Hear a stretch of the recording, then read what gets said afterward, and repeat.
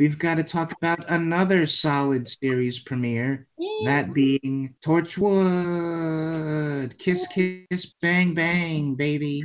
My favorite episode of Torchwood for obvious reasons. Excuse me. Have you seen a blowfish driving a sports car? Thank you. I just Which- love how straight faced Gwen is about that. And I wish Torchwood had more uh, like straight faced reaction everyone has to aliens and the weird stuff Torchwood does because it ha- happens in Cardiff all the time. Yeah, and I, I actually like the moment where, like, right after that, the old lady is like, bloody Torchwood. Even though that makes no sense because shouldn't we be retconning everyone? But whatever. I like the idea that, like, like within this community, Torchwood has become, like, kind of a public fixture where everyone just knows, oh, weird alien stuff.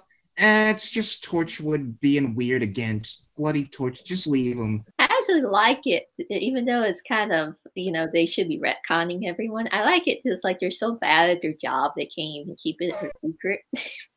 Or maybe it's just that it's escalated so much that they figured, you know what? After Abaddon, let people know about aliens from now on. How exactly would they explain that? Maybe you're right. Maybe they just gave up after the giant demon comes out. At that point, it's pretty pointless to be trying to drug. Let's just drug the water. it's like, come on, man. It's just it's, this is getting ridiculous. Next time, what, what are we gonna do when Godzilla comes back? Plus, as we learned in They Keep Killing Susie, giving people too much retcon can turn them into a psychopath with Torchwood as the trigger word. So true. Brain Uh, damage. Yeah. So we open with the Torchwood team minus Jack intercepting this weird blowfish alien who's high on cocaine and randomly go into this lady's house and threaten this lady. So the real tense moment, and then Jack's back. He shoots the alien in the freaking head, and hooray! For a little trivia side note, they reused the blowfish alien again for like a cameo appearance when all the Doctor's foes show up in the Pandorica opens to trap the Doctor in the Pandorica at the end. if hmm. you look closely, you can see him in the background. And I'm like, wait a minute, Blowfish has beef with the Doctor too, as well as Torchwood? If I'm not wrong, we will also be seeing at least the mask again, I think, in this series of Torchwood. So I'll be looking for him now. it's actually surprisingly nice continuity to have Jack have been gone for eight months.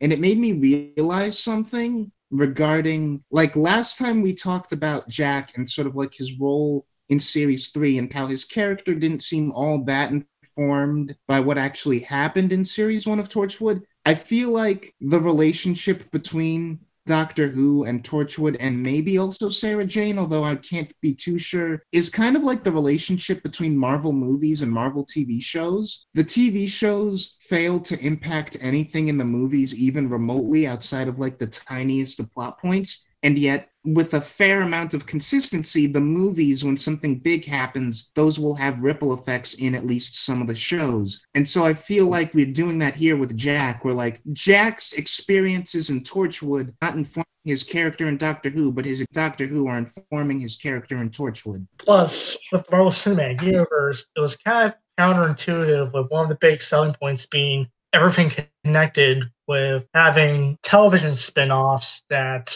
they won't be able to connect in fear of stomping on each other's toes. Yeah. Although that does kind of get into one of my uh, niggles about this episode, which is that it's really all about trust. How much trust does Jack have, and how much trust has he earned, and how much trust does he want, and all that stuff. And part of it is him just refusing to tell Gwen or anyone where he's been for eight months. Normally, I kind of understand it when Jack is kind of apprehensive to reveal stuff about himself. But why couldn't you just tell them, hey, something happened with Harold Saxon, and I kind of got trapped in like outside of time for eight months? Like, just tell him I was with the doctor and something happened and I got like jumped eight months in time. They would understand that. yeah, it's sort of like where they haven't really gotten down Jack's dynamic with the Torchwood team quite yet, but it's much more improved now.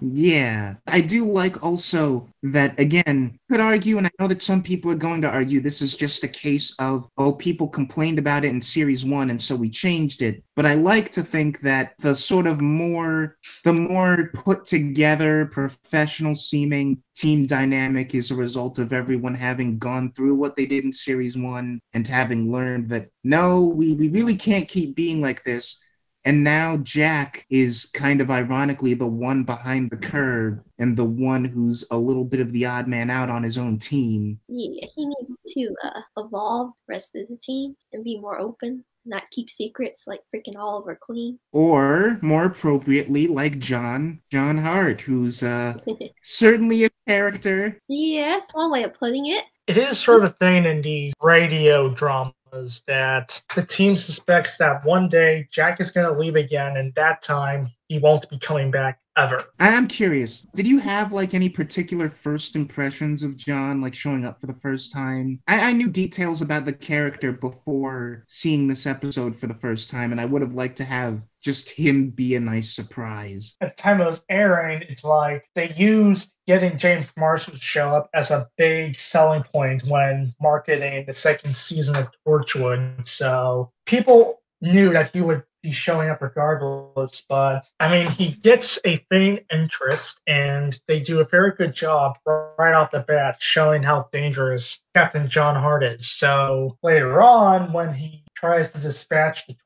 Torchwood team, getting them all separated, not too out of the realm of possibility that he's a believable threat. Yeah. Jack's past wasn't always great, and John Hart is a harsh reminder of that. Yeah, he's almost literally like a manifestation of Jack's past. Jack is so ashamed of it that that's why he's constantly running away from it and refuses to talk about like what he's been through and who he really is with people all throughout series one of Torchwood, that led to like issues with the team. And I like to think that the more I see, the more my interpretation of that whole dynamic is sort of, I, I feel more strongly about that because the team is kind of the best and most comfortable with each other that they've been on screen. And it's because Jack has been gone for almost a year. And as soon as he comes back, the dysfunction starts again in earnest. Yeah, Jack uh, seems like because he won't open up, be open with other people, it causes like a, a kink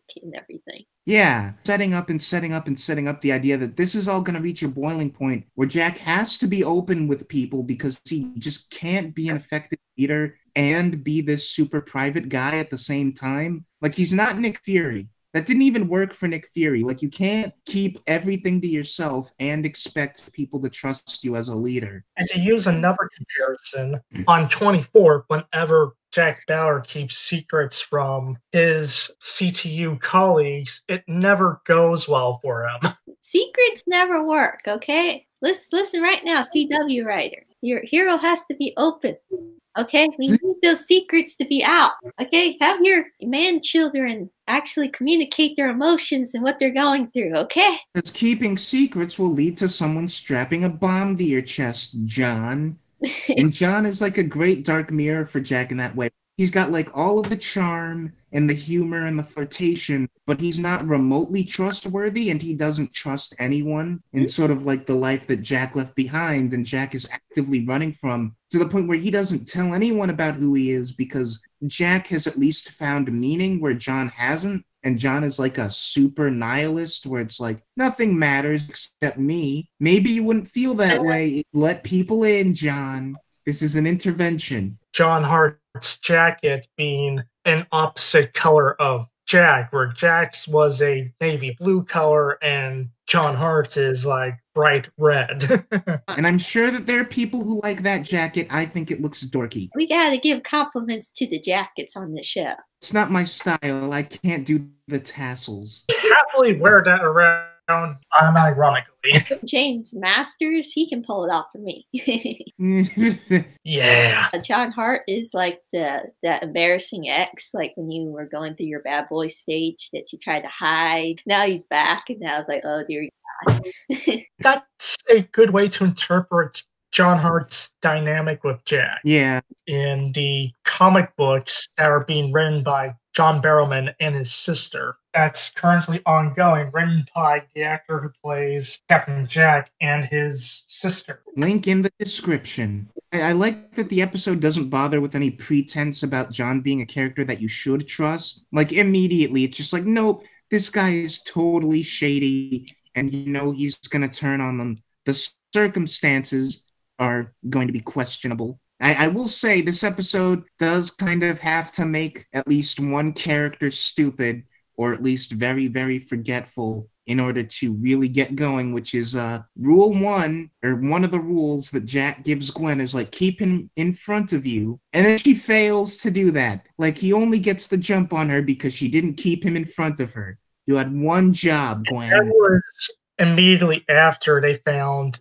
the canister John Hart is, is after. And given that he lies to them about it being a radioactive weapon, I mean, if the Torchwood team wasn't as together, like, say, during series, series one, John Hart may have gone away. But now that the Torchwood team has gotten their issues resolved, John Hart can't beat them. Well, he doesn't beat them, but he does interestingly basically get out of the episode scot free. Like he hasn't gained anything, but he also hasn't lost anything. And I kind of want to read into that. The last lines of the episode him saying he found Gray, Gwen asks what that means, and Jack, after a long pause, still refuses to tell them anything. And I want to read into the fact that, like, Jack is still not trusting the team with information about himself, and we've basically personified his mistrust and, like, untrustworthy impulses in John, and John is not really defeated at the end.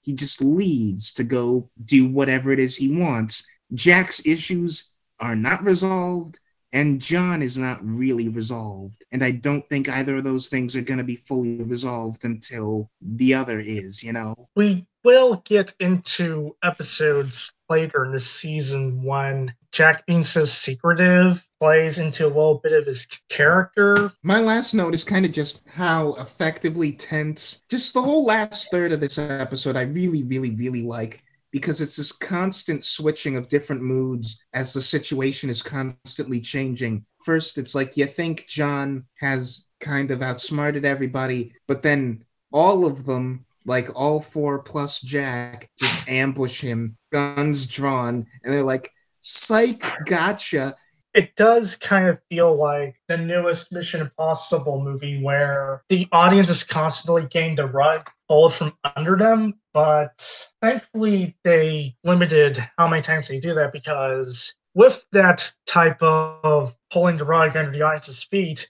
can only get away with that for so much until the audience starts expecting it, and then the twist loses any possible stain it once had. I think what leads to them being able to do that is one, it is kind of twists, but not all of them are like twists. It's not just the audience getting the rug pulled out from under them, it's all of the characters. Because we start with John, he thinks he's about to get what he wants.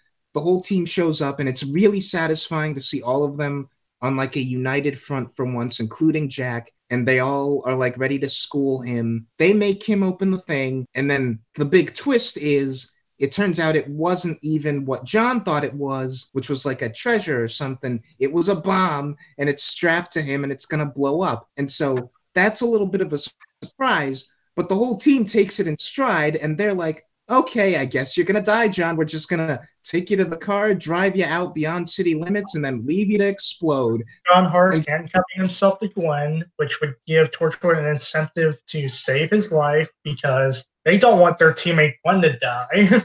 right. Owen is apparently an improviser now. I mean, hey, he's we've seen him improvise before. High intensity situation yeah, I just I really like that the whole thing is like a string of reversals to where you never feel totally comfortable. Like you never feel like you're safe knowing what the situation is. Yeah, it kind of makes me think that the version of Miracle Day when Chris Chibnall was writing it out with Russell T Davies may have been better than the one that we got. I'll say that to Nick, or like uh, 20 responses that'll go on well until next year. Yeah, but that's a discussion for another time. For all thoughts for this episode, I just want to say I love it. It's a lot of fun. It's one of the best. For me, it was the best episode. Torchwood, a character that I absolutely love and enjoy. He's basically playing one of my favorite characters of all time is again, and you know I got crush on you know Spike, so of course I'm going to love it in that way. And yeah, it was just a lot of fun. And I love that they have a blowfish on cocaine. One case of using an animal for an alien design that I actually do like. Yes. They sold me over of having it being a redfish because red is my favorite color. and two, it's just the idea of a fish humanoid walking around wearing an Earth suit is just awesome. And it would fit more in Torchwood, whereas if it was on Doctor Who, I would probably call it out for being lazy. I do think, if I can just speak to that, there may also just be a weird sort of like primal mammal brain element to it where like fish faces seem more alien than like mammal faces. Yeah. Also, the makeup job was pretty good on this as well, so that also helped. For a little bit of trivia about an episode of Torchwood that was never made, the opening scenes with the blowfish was actually supposed to be the closing act for a proposed Torchwood episode about a supermarket for aliens that live in Cardiff. Huh. I would have liked to see that episode, but oh well, I guess. Yeah, it kind of makes me kind of bitter about Torchwood changing its format to more serialized storytelling after series two. Yeah, but you know, it is what it is. Two really solid series openers. And uh, next time we meet up, we're going to be talking about something very different. But until then, bye bye. Yeah, bye.